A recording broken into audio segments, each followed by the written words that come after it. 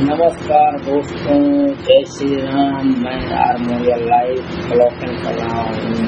आता है आप सब लोग मस्त होंगे, स्वस्थ होंगे और अच्छे होंगे। देखिए, मैं खेत में गया था घूमने के लिए और लीलगाह चढ़ रही हैं। ये इतने सारी संख्या में हैं, इनको देखिए और एंजॉय कीजिए। देखिए कैसे दौड़ रहे हैं। कम से कम दस बारह, पंद्रह होंगे। इस तरह से यह लोग चलते रहते हैं। इनका यही काम रहता है। किसान बेचारे इन लोगों से परेशान है, लेकिन यहाँ कोई मारता नहीं है। और यहाँ देखिए, मैं चला आया हूँ। समय माता के स्थान पर दर्शन करने। ये हमारे गाँव की काली जी है। यहाँ पूजा पाठ हो रहा है। औरतें कढ़ाई चढ़ा रही हैं। देखिए, मैं घंटी बजा रहा हूँ, पूजा कर रहा हूँ। और इधर सभी औरतें जो है, कढ़ाई चढ़ा रही है। काली माता के स्थान पर। सब गाँव की भाभियाँ हैं। चढ़ा रही हैं कढ़ाई, पूजा पाठ वाला। ये लोग भी अपने काम में बिज़ी हैं। इस तरह से परिवार है पूरे गाँव का? हर गाँव में काली जी का एक स्थान होता है हमारे गाँव में भी छोटा सा स्थान है काली जी का। अब ये लोग कढ़ाई चढ़ा लेंगी, उसके बाद में फिर अपने अपने घर चली जाएँगी।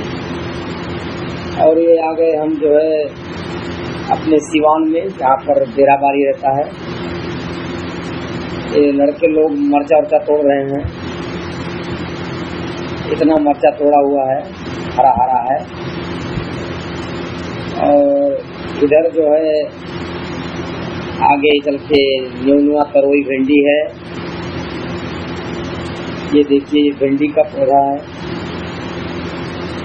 और इधर नेनुआ तरोई है, जावड़ा है। देखिए, भिंडी कैसे फरी हुई है? छोटा छोटा पेड़ है, लेकिन खड़ा हुआ है। ऐसे यहाँ खेती की जाती है, देखिए लोग तोड़ रहे हैं। आधे घंटा तोड़ेंगे, फिर लेके जाएँगे मार्केट में। यही इन लोगों का काम है। आप लोग वीडियो देखिए और एंजॉय कीजिए। और अपने खेत के कामों में बिज़ी रहना चाहिए। देखिए इसी तरीके से काम करना चाहिए। ये हमारे गाँव का है, नज़ारा। ये खेती बाड़ी ऐसे होता है। घास भूस ज़्यादा है इसमें, लेकिन इसको सफ़ाई नहीं किया है इन लोगों ने, वैसे ही काम चला रहे हैं।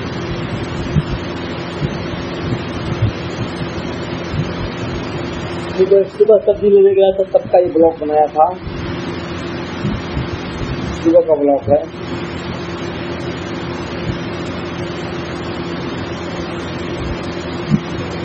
ये देखिए इन लोगों का खेत है पूरा। जहाँ तक पेड़ पौधा दिख रहा है, वो एक ही लोगों का है। इधर दूसरे लोगों का है, ये दूसरे किसान लोग हैं। ये उनके पड़ोसी लोग हैं। और ये लोग इधर है और ये बहुत बड़ा पीपल का पेड़ था, जो कि ये गिर पड़ा है। गिरने के बाद ये सूख गया है। ये नदी के किनारे पर है देखिए नदी भरी हुई है। उसी नदी के किनारे पर ये था तो सब लोग इसके नीचे आराम करते थे। लेकिन इस वक्त ये खुद बेहाल है, सूख गया है। ये भाई साहब हैं, आ रहे हैं नदी का दर्शन करके। यहाँ पूजा पाठ करने आए थे। ये पूजा पाठ करने वाला मंदिर है।